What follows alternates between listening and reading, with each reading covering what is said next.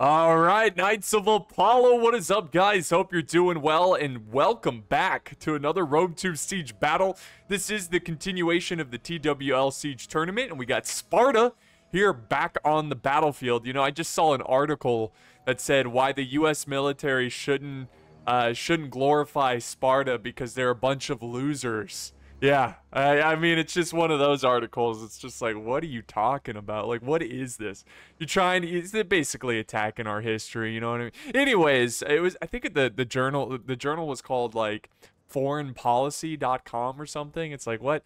I don't know. It was weird. It's like, come on now. Like, Sparta's epic. Shut up. You know, just just shut up. Anyways, this is the matchup. A little sidetrack there. This is the matchup between Ursas and Wolfgang. So, uh, from the Crimson Chicken perspective, who do we want to win? Well, first, let's figure out how many points they're playing for. Let's start with Ursas, who's on attack, because last uh, the last round they were on defense and they won, but they only won one point, so that put them that puts them up to nine points. All right, so uh, looking at their team, they got Sparta, which is a plus three faction, and then they have Syracuse, which is a minus two faction. So in total, they're going to be playing for four points. So if they win, they will get themselves to 13 points total, which would make it very difficult for us to try to beat them in the next round. Because remember, the Crimson Chickens at this point, we have five points. All right, so we would have to get a lot of points, like eight points or something, uh, to, to be able to get in second place. So let's see what the defenders have. Uh, Wolfgang, they've got Epirus, which Epirus is a plus one, and I think they, they have Lusitani, if I'm not mistaken, which is a plus two. So, uh, if they won with Epirus, so that's plus one, plus the two from Lusitani, which would be, uh, what would that be? Three plus two, so they'd get five points. So that would put them up to nine points. So yeah, obviously we want Wolfgang to win here. We got a little bit of a sally out here during the intro. We want them to win here because that would put them at nine. That would tie them with Ursas. But that would also put them behind. Um, that would put them behind. Um, uh, what are they called? I, I don't think they knew at this point of the battle. But the the uh, Winged Wamsars, they would be behind them, even if they win here. So that means, win or lose, Wolfgang has been eliminated from the playoffs. so Again, I don't know.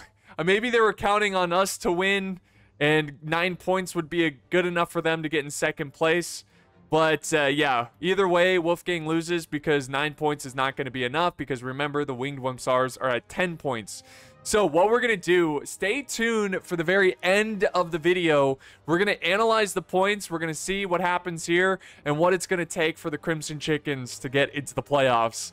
Uh, anyways, let's press play and get this battle underway. Definitely going to be a challenging battle for Ursas uh, because Sparta is a challenging faction to play as on attack because uh, they just lack a lot of versatility. They they just don't have uh, skirmishing capability outside of the Cretan archers, uh, so it's very tough. No swords either, so they're very much a difficult faction to attack on. Probably more difficult to defend in a 2v2 situation, uh, just because you know, they're they're expensive. The Spart maybe they are losers. Maybe that article was right. Yeah, so yeah, they they that article tried to link it link it to like fascist like militaristic fascism. I was like, "What?" Like this is ancient history we're talking about here, you know? Classical era. What are you fascism didn't exist. Like what are you talking? Uh, sorry, it just triggered me. It triggered me. Anyways, uh, let's jump in um, and see the, jump in the battle again. Uh, let's see what's going on here. So uh, they're going to take the same approach that we took on this map. They're going to attack these two uh, sides here, which is always good because it it forces um a nice flank here. So we'll see how. Oh, they're sallying out some infantry. Look at this, Lusitani. They got Iberian swordsmen. Sorry, they also have swordswomen. It would be funny if they sent out their women like, here, send out the women first. They weren't good cooks anyways, you know. Just send them out. Here we go. Oh, they're breaking down the walls the, all at the same time. That's risky because there is a glitch where it can... Okay, I think he's... Maybe he paused it here. Is that even possible? Did it glitch? It might have glitched here. We'll see. Because this is what sometimes it happens. It just doesn't break it down. You got to do it one at a time. And then over here, they're... Okay, over here, they're doing it one at a time. All right, so there we go. The They're going in hard right now, guys. This is a fast battle. We got some Spartan youths charging in against these levies. Illyrian levies. Which I think the levies should win this one. We'll see. If they can get on the flank of them, you know, push around the flank. Here comes a uh, another push of Spartan youths. All right, charge in, charge in. There we go. Nice, and we got some artillery coming down, but they're kind of wasting their shots on these levies. I would wait to use that artillery. Maybe they're afraid of a cav sally out harassing the artillery, which they do have some Royal Spartans protecting these artillery pieces, so we'll see how that goes. And there they go. They're pushing on all fronts here. Pushing on all fronts. And Epirus is using all of their low-tier units to initiate this with the Illyrian levies. On this side, we do have a pile up of uh, Lusitani soldiers. Look at this. So using some swordsmen against just a bunch of Spartan youths. And a nice little angle he's got here with the Cretan archers. And they're going to open fire on the flank of those Spartans. Little Greek on Greek action. And yeah, right away they're going to break them. So that's good start. A good start for Wolfgang. Remember, guys, we're rooting for Wolfgang. God bless them. Because, you know, they could have very easily have gone with, like, some really... They, they, they could have gone with some really crappy factions and tried to, like, get as many points as possible, which would make it more likely that Ursas would win their match, you know? Um, it's not for sure, but, you know, that's usually how it goes. The crappier the factions, factions, the more difficult it is to win. Um, so the fact that they went with some pretty good factions here uh, gives us hope. Gives us hope. I don't know if they did it for us or they just they didn't know how many points they really needed because I think we were playing these matches around the same time. So uh, we were playing the Winged Wamsars and they were playing around the same time. Same day, couple different hours, you know, like uh, we were, oh, nice volley from, from archers. So yeah, I don't know what they were... I think they were hoping that we would defeat Winged Wamsars at least once, but even if we did, we still have a whole nother match. So again, you know, props to Wolfgang for going for some good factions and not going for the, uh, the playoffs. Maybe they just wanted to defeat these bears. I don't know, but today we're all Wolfgang fans. We are all Wolfgang fans. Unless you, you know, unless you're rooting for the Bears. There we go. Nice, nice use of these Javies here. He's got some throw spears. Classic unit here. Just chewing up this infantry. These thorax swordsmen are getting roughed right now. Spartans are charging in. They're going to try to charge in and silence those throw spears. The throw spears form square. Always a smart idea. And then we've got another flanking position by the Iberian swordsman. So uh, very good job by the defenders using their angles, using little gaps to throw in javies and etc. Hoplites holding this flank. We've got Iberian swordsman taking on the thorax swordsman. It does look like they finally made a breach. They've gained control of this area right here, and they're most likely going to gain control of this tower. Nice little volleys here and there. We've got another unit. Oh, Samnite Warriors. Now we're starting to see better troops from Epirus. Iberian swords. Throwing their hate. Oh! More artillery fire, but they really haven't hit too much here. Let's see how many kills it has. Let's see, what do we look, what do we, 90? Okay, 90's not too bad. I guess every time I see it, uh, it's missing quite a lot. All right, Samnite Warriors using their Javies, cleaning up the flanks here. Here comes another volley. Ooh, that one definitely missed right there. Oh, nice. Did they just crush the hoplites over here, did the hoplites fall back? They, no, this is a fresh unit. Oh, they they just crushed the hop. They must have got a bunch of volley fire. Now they've gained control of this area as well. They're making a big push. And guys, the balance of power is in favor of Ursas. Ersas. So, the Bears. This is not a good... I mean, they've made some good fights. You know, like small victories, uh, Wolfgang. But uh, they are behind.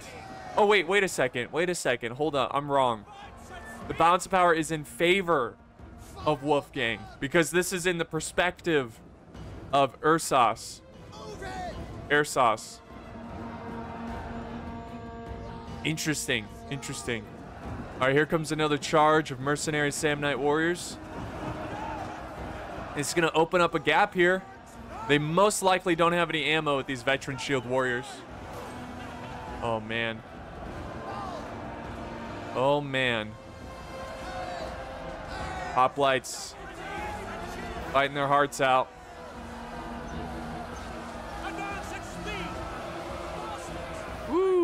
Nice little throw spear throw into these Samnite warriors. Oh, that's kind of cool. I didn't know. I I didn't know that Syracuse could bring Samnite warriors. That's pretty cool. It's cool to see them in blue. Oh, even over the building, they're getting hit.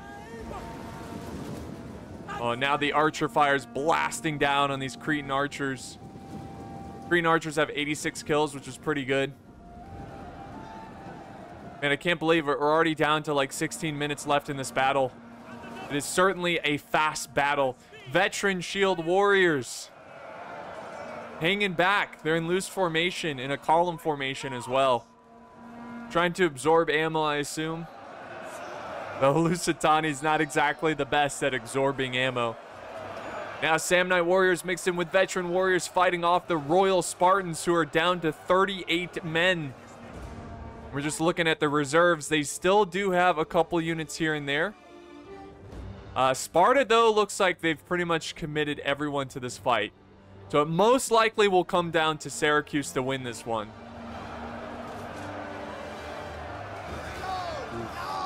Yeah, so I think for the Bears to win this one, they've got to they've got to break through somewhere, maybe rush in some cav. Get, you know, like just somehow like inflict a lot of casualties with like a, like a nice cav charge. And uh, this is funny right here. Look at this. You see this, guys? Notice how the slingers are getting annihilated. It's funny because I remember when I uploaded my attack on this map, you guys rem remember against the Winged Wimsars when we got sallied out by Cav? People are like, Apollo, you idiot! You should have put your archers up on the walls! Well, if I did that, guys, this is what would happen. They would get focused down so quickly. Look at these guys are done. They're up there for a few seconds, and they're dead. That's why you can't use these walls. You're just like, you're asking to get shot when you get up on these walls sometimes. So, uh, that's what would have happened. Um, but yeah, anyways. All you people out there being too critical, what's your team?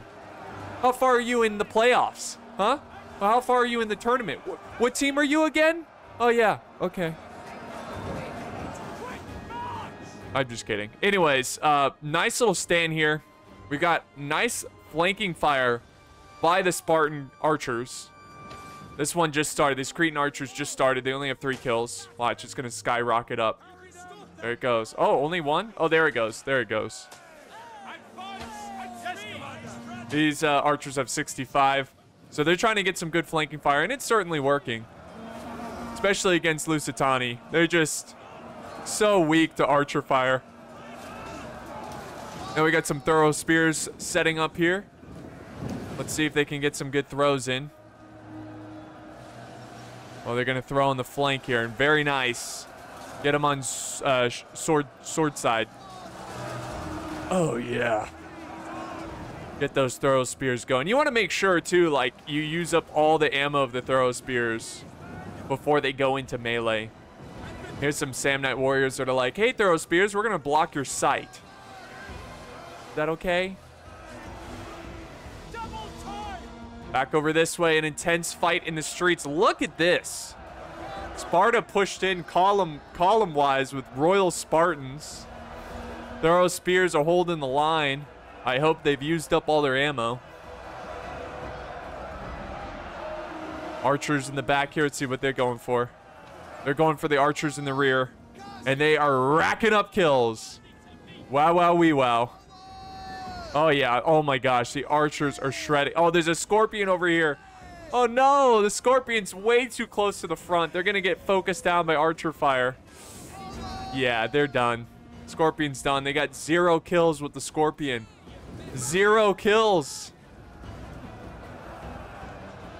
A nice meaty stand. This might be a little, like, I think they, um, they should have fallen back and waited. Just because, like, they're sitting ducks here and they're not really fighting, so they're just dying to archer fire. So I think Wolfgang should have just, like, fallen, fallen back and then move in whenever you need more men. Yeah, they're just going to get blasted. These are veteran shield warriors, too. They're pretty good. Oh my gosh. Royal Spartans. How did they even get this far down? I guess they fell back. They're kind of letting them in so they can hit them on the flank, it looks like. Yeah. See how they get, got them surrounded now. Interesting. Very interesting.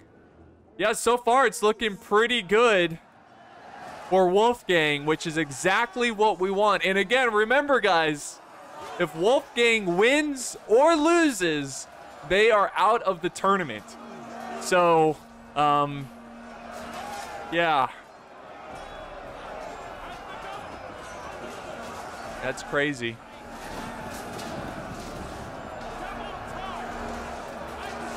But right now they're fighting. They're fighting for uh, bragging rights. You know, they don't want to go out quietly. Maybe they're fighting for us. Maybe they're fighting for the Crimson Chickens.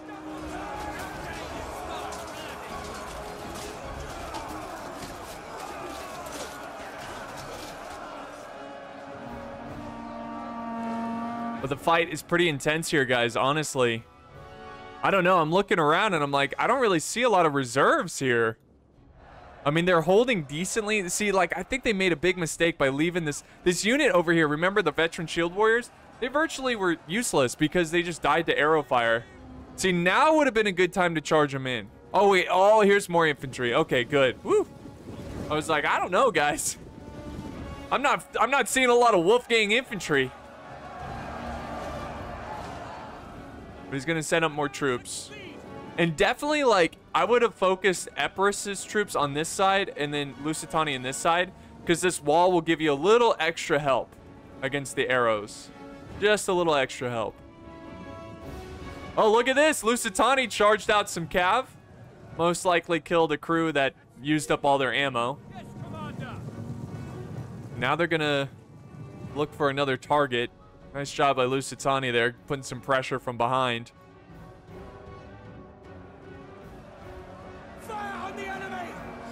Got veteran shield warrior, warriors using their javies on the thorough thorax swordsman.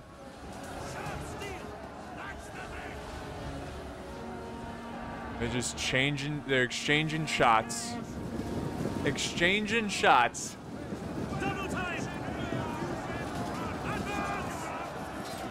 Comes a push of the Thorax Swordsman. Veteran Shield Warriors still waiting in reserve. I assume the archers are out of ammo. That's why they're no longer worried about being out in the open. You might have to charge these guys in in the center. De defeat these Spartans really quick. There they go. He's got a, some Spartan youths. They're down to like 30. They should break here. They just like walked in. Ooh, intense archer fire. Got some slingers. They're so good in these types of situations, these street battles where they got a clear shot. They're most likely going to... Oh, well, they're... Okay, these guys are out of ammo, so do, don't waste ammo on them. And, well, they're actually going for the infantry, so good for them. Good for them. They've got this uh, Spartan unit surrounded. Some weird deployment over here. Weird, like, positioning of troops. Now Syracuse is charging, charging in. Wolfgang still has a lead in terms of the balance of power. They just got to keep it up as long as they don't make any big blunders here. As long as they don't do anything too crazily stupid, um, they should win this one. They should win this. Royal Spartans. Charging in. This is the general. They're starting to run out of troops, guys. They've got some Hippias Lancers. It'll be interesting to see if he can use them at all. The question is, like, did the defenders have a lot of troops left to hold over here? Oh my gosh, look at all this archer fire. And once again, they're putting their men up on the walls, but why? They have ammo, but they're just going to get melted. They might get a couple volleys off. They have 129 kills. The archers decided to go for the general over here. Those lancers. All right, Royal Spartans pushing in. I don't know, guys. I mean, again, the bounce of power looks really good for Wolfgang, but I mostly am seeing archers here. What, what about the Scorpion? 200 kills? What in tarnation? Wow, they must have been firing down this road. They got 200 kills. Wow. Good for them. All right, they're about to break over here. They're about to break. Their archers are open to attack. And I think that's what the Hippias Lancers are going for. Now we got some Javelin men. Do they have ammo? Oh, come on, charge the Javelins. You're gonna sit there? Oh, no. Those Samnite Warriors are gonna get blasted. The Slingers opening fire. We got Epirus going through the gate with their general. And he's going to try to get a rear charge on the Samnite Warriors. Ooh, this is risky. Oh, man, I don't know. They still have a lot of infantry everywhere, guys. I mean, they do have to take on these Lusitani nobles, which are pretty good. But I'm looking around, and I just don't see how their bounce of power is so much in their favor. Well, I guess some of the infantry started to die off here. Who did they... Veteran shield warriors? All right, the slingers at this point, stand your ground and focus your fire on the Hippias Lancers. And if you're Syracuse, you want to just like constantly charge. Charge, don't stop. No, what are you doing, slingers? Fire, fire, fire, fire. Fire at the general. Oh, he doesn't charge after the archers? What is he going for? Oh, I guess he's trying to kill the Epirus's, Epirus's general. Not a bad idea, but I think he should get these archers first. Oh my gosh. Hippias Lancers down to 50 men from 80. I think he, he should have went for the archers right or the slingers right away.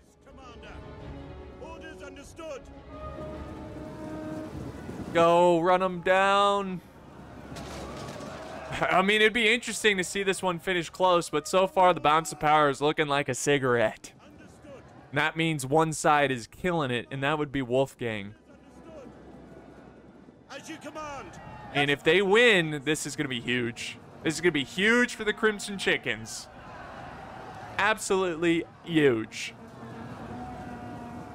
Yes, quickly, now!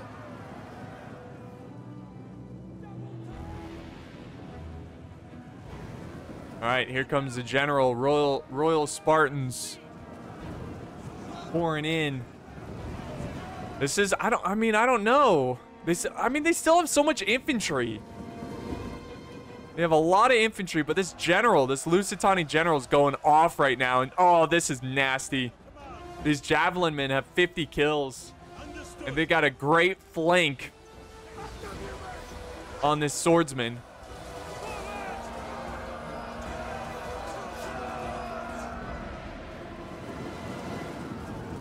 All right, they're breaking through, guys. What do they got? Oh, look at Syracuse's general. He like ran through. He's getting chased down by Epirus's general. The, the general's behind the lines.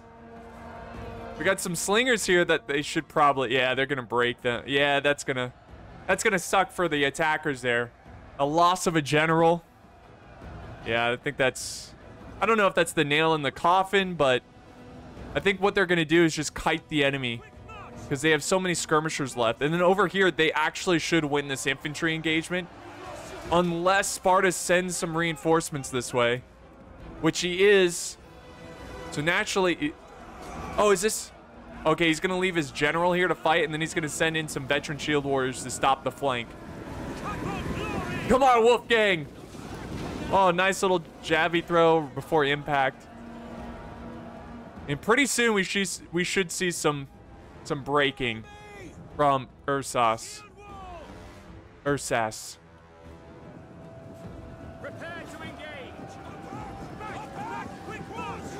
There we go.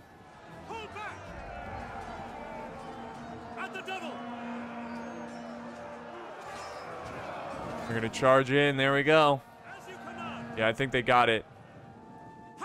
I think they got it. Nice little charge by the Lancers. Or Royal Cav, I should say. And uh, it's a close one.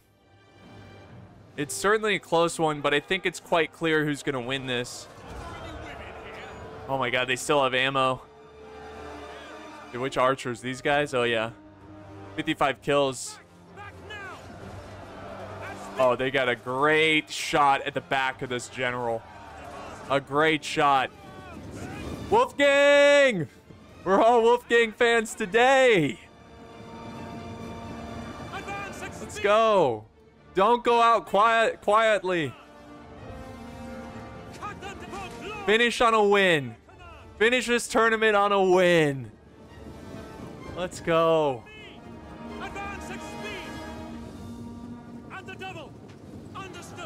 Let's go.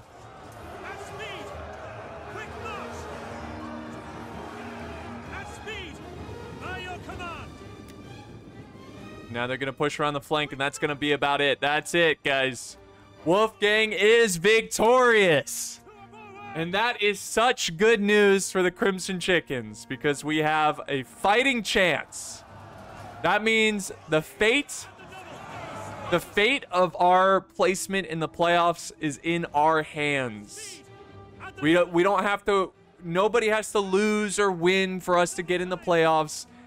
It's either we win or we lose in that matchup. Wow, okay. So let's end this replay. So here it is. Um, nice job by Wolfgang for getting the victory there. And unfortunately for Wolfgang, they eliminate themselves. Well, they don't, they don't well, they just didn't fight for enough points.